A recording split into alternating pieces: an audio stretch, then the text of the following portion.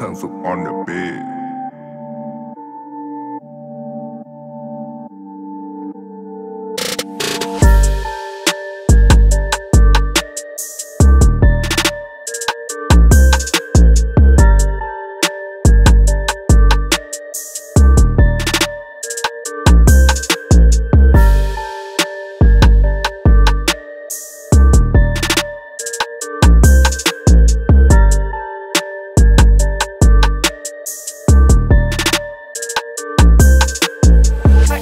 your tracks today.